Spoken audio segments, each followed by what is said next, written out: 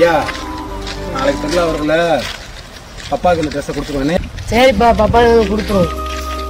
வா. வாப்பா வாப்பா. எப்பா நாளைக்கு திருவிழா வருதுலப்பா ஆமா. அதான்ப்பா புது ட்ரெஸ் எடுத்தோம். என்னப்பா என்ன சாப்பிடலப்பா ஆ சாப்பிட்டப்பா கொடுக்கலாம்னு ஏப்பா. எனக்கு எதுக்குப்பா நேத்தான ரெண்டாயிரம் ரூபாய் காசு கொடுத்தேன். உன் குடும்பம் பெரிய குடும்பம்.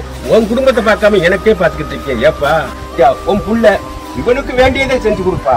அப்பா எவ்வளவோ என்னை கஷ்டப்பட்டு வளர்த்தீங்க. நான் செய்யறதெல்லாம் ஒரு பெரிய விஷயமாப்பா.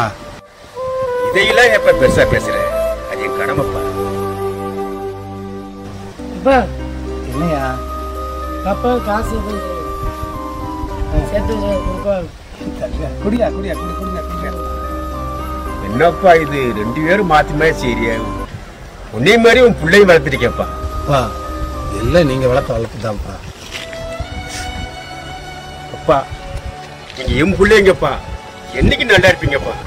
அப்பா ஆசீர்வாதம் அப்படின்றது வந்து இறைவன் நேரடியாக வந்து கொடுக்கறதில்லப்பா உங்களை மாதிரி பெரியவங்க தான்ப்பா. கொடுக்குற அந்த ஆசீர்வாதம் தான்ப்பா எங்கள் சந்ததியிலையும் அப்படியே வாழ வைக்கும்ப்பா. என்னைக்கு நல்லா இருப்பீங்க? அப்பா.